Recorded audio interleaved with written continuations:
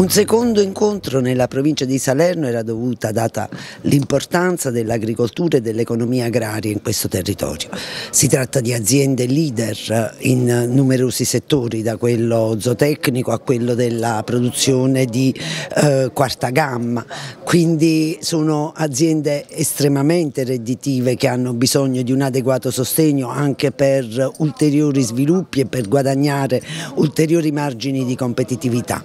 I bandi riguardano un poco tutto lo scenario di interesse per queste aziende, da quelli che sono gli interventi strutturali per eh, il miglioramento delle produzioni agricole all'adeguamento degli allevamenti zootecnici, secondo quelli che sono dei canoni sempre più stringenti per uh, ridurre l'impatto degli allevamenti sul suolo e per migliorare le condizioni di vita degli animali.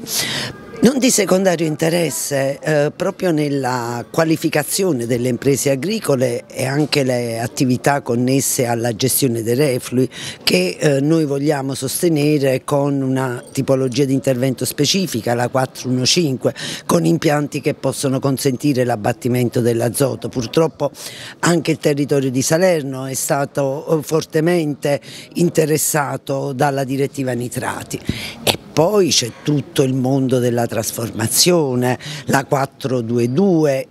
già uscito il bando e di prossima uscita quello della 421 che può interessare una vasta platea di utenti dalle, dalle, imprese agroalimentari che tradizionalmente sono ricorse agli incentivi comunitari per migliorare e ampliare le loro catene operative a quelle che sono dei piccoli operatori che eh, senza, dover, eh, senza avere ambizioni di diventare imprese di trasformazione dell'agroalimentare agroalimentare ma possono diversificare la loro proposta eh, e la loro offerta di prodotto con delle eh, produzioni, con dei trasformati di eh, alta eh, qualità e in questo caso noi entriamo nella possibilità del finanziamento previsto dalla 422.